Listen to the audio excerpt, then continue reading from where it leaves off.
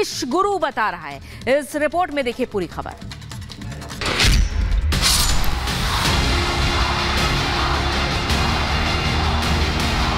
उसका मंगल सूत्र तुम उसे छीनने की बात कर रहे हो अपने मैनिफेस्टो में? मोदी को तो ये कांग्रेस ही दिन रात गालियाँ देते हैं। हर दिन मैं दो ढाई किलो गालियाँ खाता हूँ। जिनके ये कमीशन बंद हो गए हैं तो मोदी को गाली देंगे कि नहीं देंगे? पानी पी पी करके गालियाँ देते हैं। चुनाव में हार के डर से विपक्ष एक बार फिर अपने उसी पुराने ठर्रे पर लौट आया है। फिर से प्रधानमंत्री मोदी को गाली देने उनका अपमान करने से बाज नहीं आ रहा।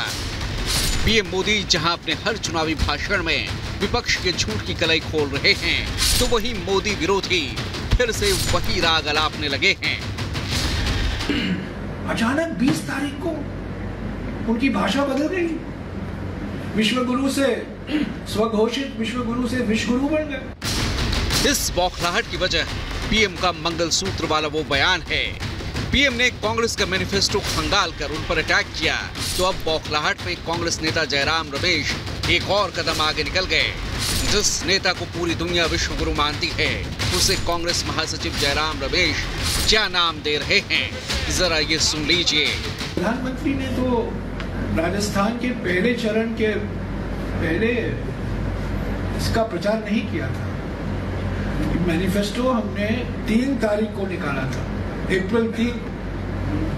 और चुनाव कब हुए?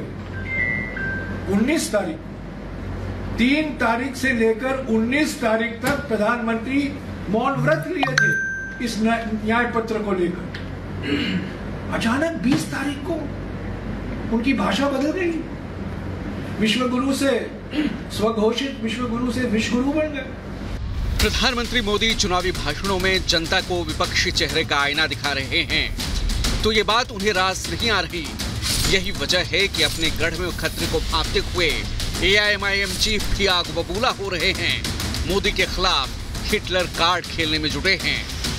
भारत के वज़ीर आज़म 133 करोड़ जनता के वज़ीर आज़म, जो कहते हैं झूठ, कहते हैं सबका साथ, सबका विकास। मगर कल का भाषण नरेंद्र मोदी का ऐसा नज़र आ रहा था कि हिटलर बोल रहा है, भारत का वज़ीर आज़म नहीं बोल रहा है। ये वही विपक्ष है जो संविधान पर सवाल उठाता है, देश तोड़ने की बात करता है, धर्म के आधार पर आरक्षण का कार्ड खेलता है, और मोदी को कभी तानाशाह तो कभी हिटलर बताता है। ऐसे में पीएम मोदी ने विपक्ष पर करारा जवाब दिया।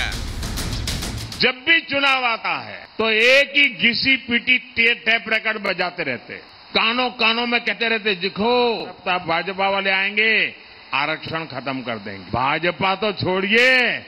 अरे खुद डॉक्टर बाबा साहब आम्बेडकर आकर के कहे ना तो भी होने वाला नहीं है। कांग्रेस का उम्मीदवार कह रहा है कि गोवा में संविधान नहीं चलेगा।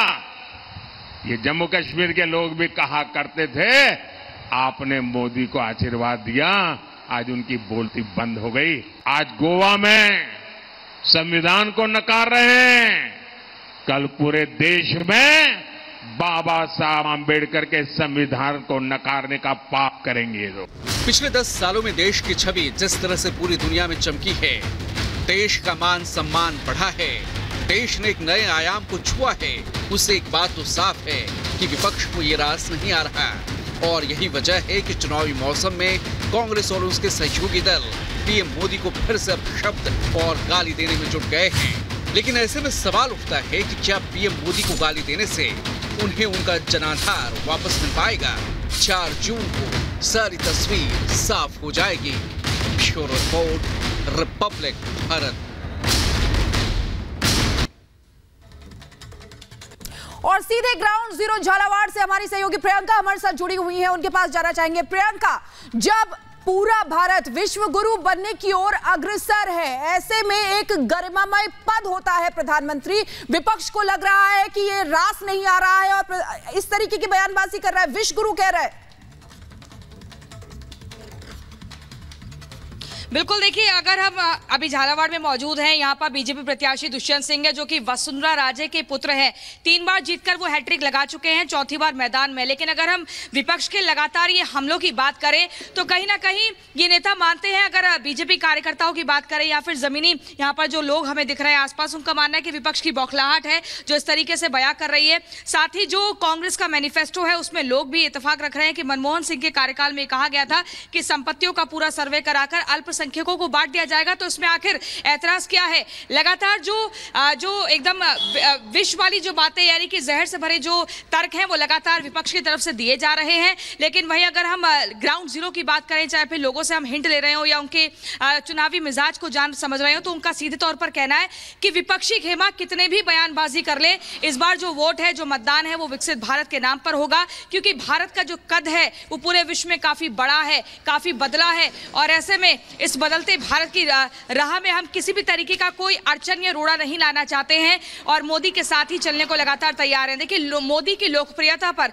किसी तरह का कोई असर नहीं पड़ रहा है चाहे कोई उन्हें विश्वगुरु कहे या फिर उन्हें विश्वगुरु कहे। उनका सीधे तौर पर ये कहना है मोदी ने सुरक्षित माहौल दिया है डबल इंजन की सरकार के लिए राजस्थान की जनता तैयार है तीसरी बार भी हैट्रिक लगेगी बिल्कुल प्रियंका ये मायने रखता है कि जनता की क्या प्रतिक्रिया है जनता का क्या नज़रिया है तमाम मुद्दों को लेकर के बहुत बहुत शुक्रिया प्रियंका तमाम जानकारी के लिए और इस बीच स्मृति ईरानी, जो लगातार कांग्रेस पर हमलावर है, उन्होंने एक बार फिर से अब रॉबर्ट वाड्रा पर निशाना साधा है। उन्होंने कहा कि जगदीशपुर पर वाड्रा की नज़र है।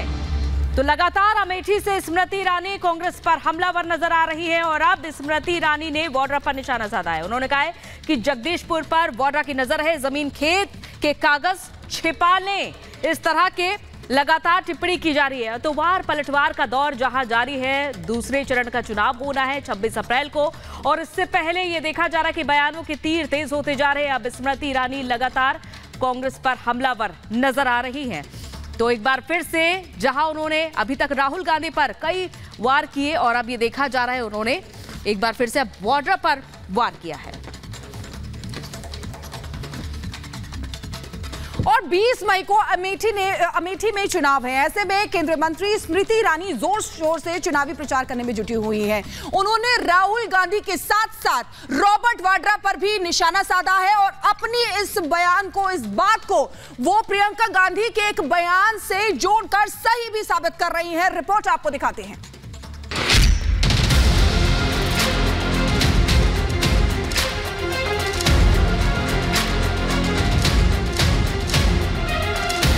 जी को जगदीशपुर सुरेश ध्यान में आ गया है।